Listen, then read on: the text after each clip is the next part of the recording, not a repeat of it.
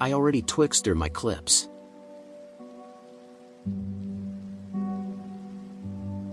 Search BCC Lens Blur OBS and drag on your video. Follow these settings.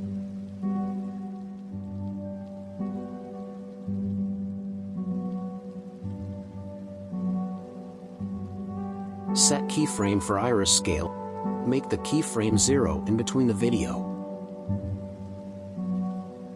Press U in Easy Ease keyframe by pressing F9. Now copy the graph.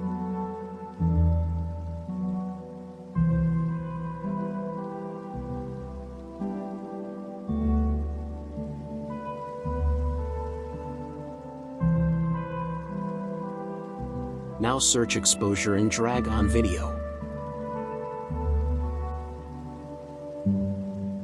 Follow me. Go to last frame and set the value to zero again.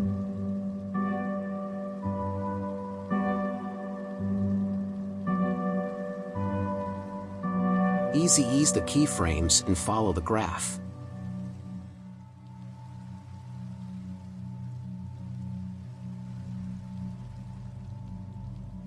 Now copy the effect by pressing Ctrl plus C and paste on all clips by using Ctrl plus V.